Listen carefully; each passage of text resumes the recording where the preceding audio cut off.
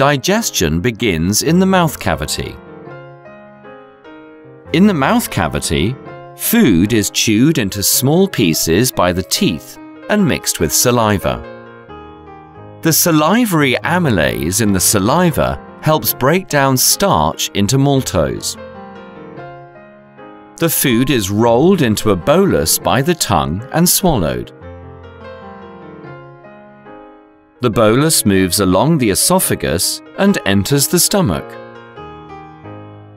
In the stomach, the gastric glands produce gastric juice that contains pepsin. The pepsin helps break down proteins in the food into peptides. The partly digested food is then released into the small intestine.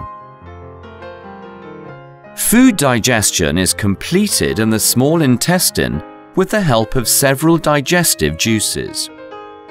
They include the bile produced by the liver, the pancreatic juice produced by the pancreas, and the intestinal juice produced by some glands in the wall of the small intestine.